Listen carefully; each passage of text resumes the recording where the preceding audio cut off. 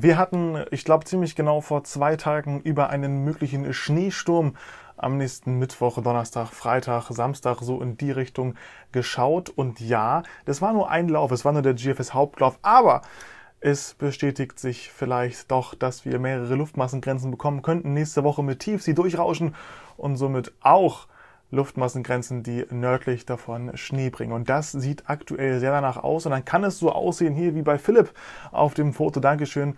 Das war noch von Ende oder Mitte, Ende Januar 2023. Also vielen, vielen Dank. Und wir starten mit der aktuellen Wetterlage heute beziehungsweise dann morgen früh. Und da kommt eigentlich, das was wir schon seit Tagen sehen, endlich nach Süden voran, nämlich dieser gigantische Trog und beziehungsweise dieses gigantische Kaltluftmonster über Skandinavien, was südwärts ziehen möchte bis zu uns und Deutschland jetzt hier mal in Rot eingezeichnet wie immer. Und das zeigt sich auch in äh, 1500 Metern Höhe mit bis zu minus 10 Grad, vor allem im Nordosten Deutschlands. Und jetzt machen wir eine Reise quasi, eine Prognose nicht, sondern ein, einfach nur ein Modell-Update was sagen denn die führenden Modelle? Und das ist das GFS-Modell und das ECMWF-Modell mit dem jeweiligen Hauptlauf. Und das schauen wir uns jetzt mal im Detail an, was der aktuelle Status quo ist. Nicht zu ernst nehmen, das ist nicht das Endergebnis. So wird es wahrscheinlich nicht komplett kommen aber es zeigt doch, in welche Richtung es aktuell gehen kann. Und so starten wir dann eben schon morgen am Sonntag um 10 Uhr, ihr seht über mir, über meinem Kopf da, über dem Icon quasi immer die Zeit, für welches Datum dieser Lauf, dieser, diese aktuelle Karte gerechnet wird. Hier ist es eben für 10 Uhr deutsche, deutsche Zeit am Sonntag, dem 5. Juni. Äh, Juni. Juni, ja, Klar, das ist der 5. Juni. Nein, das ist der 5. März. Und hier sehen wir, dass wir deutliche Schneesignale haben vom amerikanischen Modell. Es ist nicht hoch aufgelöst, dieses Modell, aber es zeigt eben doch, dass ab der Mitte so aus Nordwesten dann eben die Schneefälle kommen können und es so langsam losgeht und es dann die erste richtige Schnee Front gibt, da könnte ich sagen, am Dienstag, in der Nacht auf Dienstag. Und da sehen wir, das zieht einmal von Nordwest nach Südost eben durch. Und wir sehen aber auch, das Ganze ist vermischt mit blauen bzw. Grünfarben. Und das bedeutet, dass wir in diesen Gebieten auch Schneeregen zu erwarten haben und nicht überall Schnee. Schnee wird es wahrscheinlich nur im äußersten Norden Mecklenburg-Vorpommerns sein. Ansonsten gerade so im Ruhrgebiet, da wo wir die Grünfarben sehen, wird es voraussichtlich alles Regen sein. Noch denn es geht weiter und das ist dann eben der Abend, der Dienstagabend, das eben gerade war der Dienstag früh, das ist Dienstagabend und hier sehen wir schon, die Schneefallgrenze sinkt weiter runter bis auf den Boden quasi hier gerade in Nordrhein-Westfalen und Rheinland-Pfalz und auch im Saarland wird es sehr, sehr starke Schneefälle geben.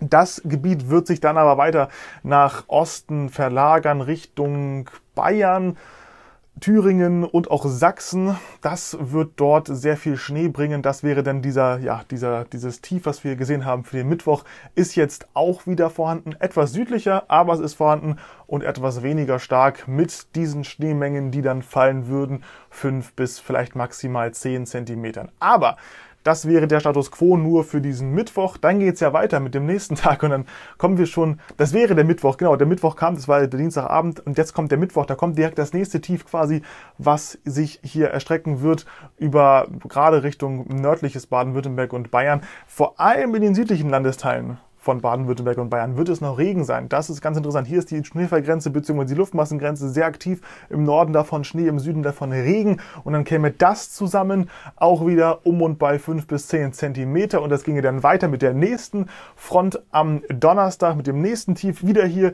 die Schneefallgrenze. Die ist ein bisschen weiter in den Norden gerutscht. Das heißt, die Luftmassengrenze ist ein bisschen weiter Richtung, ähm, ja, vor allem Hessen, Thüringen, so in der Art Richtung Sachsen, auch noch Erzgebirge. Alles, was darunter liegt, da wird der Schnee wieder tauen, antauen nach diesem Modell. Ne, da muss man immer im Konjunktiv bleiben. Könnte, würde, das ist noch nicht sicher. Das ist ganz, ganz wichtig. Und dann kommt der ganz brachiale Samstag in dem GFS Hauptlauf, den wir hier sehen, mit einer gigantischen Schneefront, mit einem gigantischen Tief, was durchziehen muss und möchte von Nordwesten nach, von, beziehungsweise Südwesten nach Nordosten. So würde es aussehen. Und das wären die Schneemengen die da zusammenkommen würden. Also verbreitet eine leichte Schneedecke in Deutschland. Und dann würde dieses Tief sogar noch weiterziehen. Und man sieht aber auch, und das ist ganz interessant, hier oben ist das L eingezeichnet für Low, heißt also, das wäre der Kern des Tiefs. Und wir sehen dass wir gerade im Norden, also gerade so Schleswig-Holstein, Mecklenburg-Vorpommern, vielleicht noch Hamburg, dass es hier als Schnee niedergehen würde. Alles andere darunter ist in dem Bereich der zu warmen Luft des Tiefs und somit wäre das hier alles, aber auch wirklich alles Regen und dann würde auch die meiste Zeit wieder das, was davor zusammenkam, an Schnee wieder schmelzen und nur im äußersten Norden würde sich neuer Schnee dann dazu orientieren und dazusetzen. Alles weitere im Süden würde auch so langsam aber sicher wegtauen. So, jetzt atmen wir alle mal durch.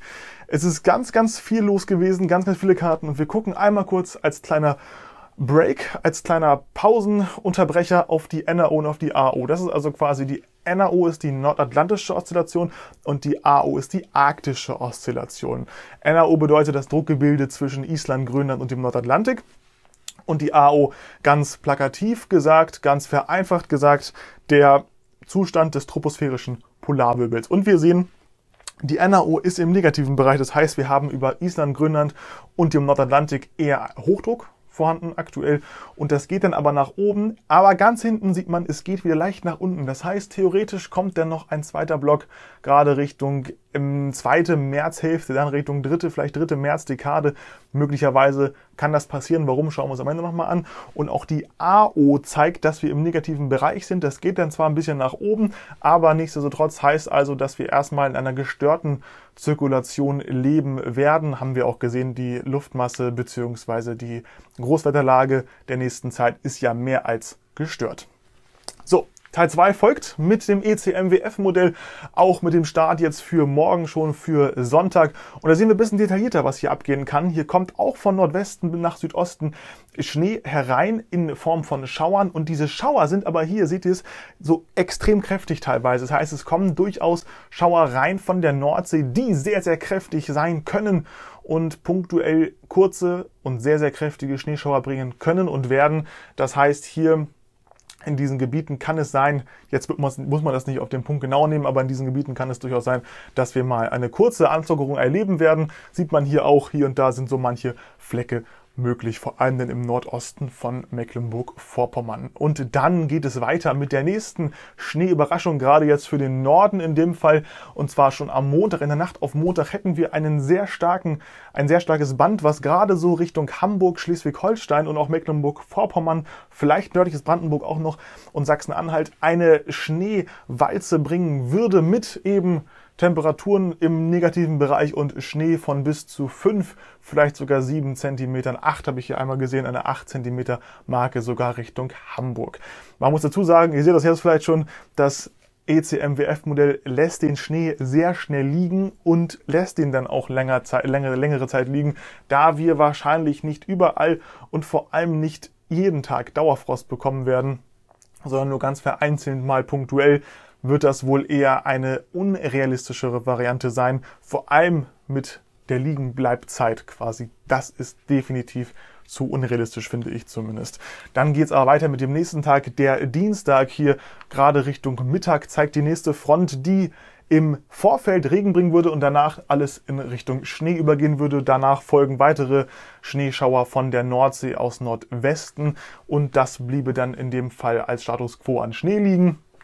Die nächste Front, die wir haben, beziehungsweise das nächste Tief, was wir haben, das wäre Dienst, äh, Mittwoch, wie wir gerade auch schon gesehen haben beim amerikanischen Modell. Hier ist es noch ein bisschen kräftiger und das sehen wir auch in den Schneehöhen. Sehr, sehr kräftige Schneehöhen hier rund um die südliche Mitte, auch Richtung Bayern, Baden-Württemberg dann am Ende. Hier kann es richtig viel schneien, gerade in den höheren Lagen der Mittelgebirgen, gerade auch Erzgebirge, Harz zum Beispiel auch, kann es bis zu 30 Zentimeter nach diesem Modell zumindest schneien. Dann geht's weiter mit der nächsten Schneefront beziehungsweise mit dem nächsten Tief. Auch hier wird das Ganze ein bisschen weiter nach Norden verschoben, dann Richtung Donnerstag hatten wir gerade auch schon gesehen, da sind sich die Modelle relativ einig.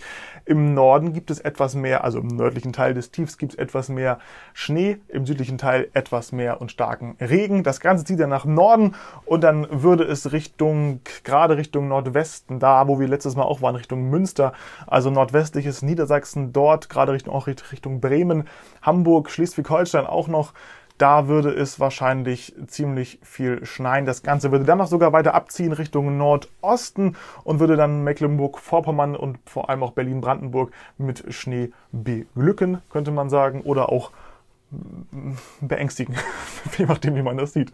Und dann ziehe das nächste Tief durch, eben, da sieht man das L links Richtung NRW, das wäre dann der Samstag, den wir gerade gesehen haben. Hier wäre es auch so, dass vor allem der Norden in der kälteren Luft bleiben würde und den Schnee abbekommen würde. Der Süden wohl eher, beziehungsweise ab dem ab der nördlichen Mitte könnte man sagen, südwärts ist es dann wohl Regen und das würde man auch Richtung ähm, Niederschlagswahrscheinlichkeit beziehungsweise Richtung Schneehöhe dann sehen. Der Norden wäre komplett eingeschneit mit bis zu 15 beziehungsweise 20 Zentimetern Schnee. Ja, Wahnsinn. Und alles darunter ist eigentlich fast weggetaut, könnte man sagen, außer in den Hochlagen der Mittelgebirge und auch im Erzgebirge.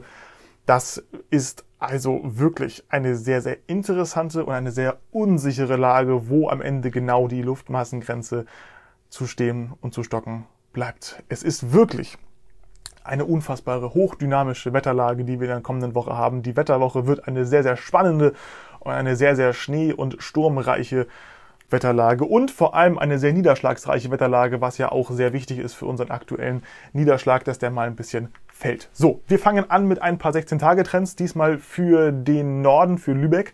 Da habe ich einmal rausgesucht, da sieht man, dass wir durchaus die ganze Zeit unter der roten Linie sind. Das heißt, es bleibt hier definitiv wahrscheinlich längere Zeit zu kalt mit den Temperaturen in 1500 Metern Höhe und auch am Boden wäre das zumindest immer mal wieder Nachtfrostgefahr. Ähm, Dauerfrost wird es hier wohl nicht geben, dafür aber immer mal wieder, und das jetzt schon ab Sonntag beginnend, Schnee. Hier sind die Schneesignale fürs norddeutsche, norddeutsche Tiefland doch relativ eindeutig hoch und somit auch für einen März sehr ungewöhnlich hoch, muss man sagen. Als Gegenpart habe ich jetzt mal Stuttgart rausgesucht für den Südwesten Deutschlands quasi. Und da sehen wir, wir sind nur am Anfang, jetzt gerade quasi am Sonntag, Montag im unterdurchschnittlichen zu kalten Bereich. Danach sind wir doch deutlich im, ne, äh, im neutralen Bereich, beziehungsweise sogar leicht zu warmen Bereich. Das liegt daran, dass hier wahrscheinlich die Luftmassengrenze immer wieder auf der warmen Seite liegen wird. Und das sieht man auch in den Temperaturen in, äh, am Boden dann. Es wird auf jeden Fall wärmer werden, viel wärmer werden, vielleicht sogar über 5 Grad am Tag. Das will ich nicht ausschließen. Es gibt sogar Läufe, die wollen hier hoch bis auf 20 Grad. Aber das wollen wir jetzt mal nicht weiter thematisieren, denn da kommen wir gleich zu. Es gibt ja noch eine zweite Sache, warum ich denke, dass diese Läufe da oben erst einmal nicht stattfinden werden. Die Schneesignale für Stuttgart sehen aber auch relativ hoch aus, weil wenn mal so etwas kommt, dann ist es gleich relativ viel. Deswegen sind die Ausschläge relativ hoch, da es hier auch mit Luftmassengrenzen zu tun hat. Und jetzt habe ich gerade gesagt, das hier ist der Grund, warum ich glaube, dass wir noch nicht durch sind, auch ab Mitte März nicht durch sind mit dieser vielleicht spätwinterlichen Lage. Auch Ende März kann noch etwas passieren. Und ich glaube, es passiert sogar auch, denn wir haben hier den Polarwirbel, hätte ich fast gesagt, die Zonalwinde in 10 Hektopascal Höhe. Das heißt, da oben, wo eben der Polarwirbel ist. Und wir sehen jetzt gerade hier mit der weißen Linie das jetzt quasi und wir sind im negativen Bereich und bleiben dort auch und sind erst so Richtung 11., 12. März im wieder neutralen und dann auch positiven Bereich. Das heißt, der Polarwirbel regeneriert sich sogar nochmal und kommt nochmal richtig zur Geltung. Aber also für, die, für diese Verhältnisse zur Geltung, würde ich mal sagen, für diese Jahreszeit zur Geltung. Aber so ein Ereignis, so ein Negativereignis, das heißt, die, die Winde drehen sich um von Ost nach West, beziehungsweise von West nach Ost, also sie drehen dann von Ost nach West, könnte man sagen. Und das heißt am Ende, dass diese Auswirkungen dieses Major Warmings, der, das gerade stattfindet, erst später kommen. Das heißt, erst wenn wir wieder Richtung positiver Bereich gehen, erst dann können diese Auswirkungen kommen. Das heißt, wir müssen noch eine Woche warten, mindestens, bis wir die Auswirkungen des nächsten Major Warmings sehen. Und wahrscheinlich, würde ich zumindest sagen, ist meine aktuelle Vermutung, dass wir dann auch wieder mal einen nächsten Kaltlufteinbruch erwarten können. Richtung 20. bzw. 25. März. Und dann ist aber auch wahrscheinlich erst einmal Schluss mit der Kälte.